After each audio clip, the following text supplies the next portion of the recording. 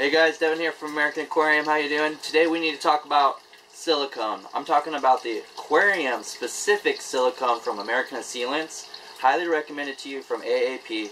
Okay, one of the most popular questions in the hobby is I gotta repair my tank, I got a crack, I wanna build my own aquarium. What silicone do I use? More times than not, you'll see most people recommend just GE 100% silicone from the hardware store. I'm here to recommend to you aquarium silicone meant for an aquarium. Okay, what's the difference between this and other silicones? First, it's FDA approved. What's that mean? It's safe enough for us to, to be around our food. We could even eat it. it. Means it's safe enough to be around our fish. Also, it's meant to handle heat swings, so when our aquarium heats up, goes down, it's not going to degrade the silicone. It's also a slow curing silicone, so that means it's going to be longest lasting, which is best for us. Lastly, when you purchase aquarium silicone, not just GE 100% silicone, your purchase goes to actually helping the hobby.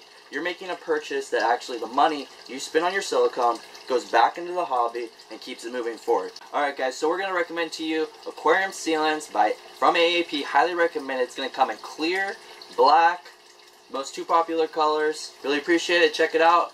Make sure to like, subscribe, share with your friends. Have a good weekend.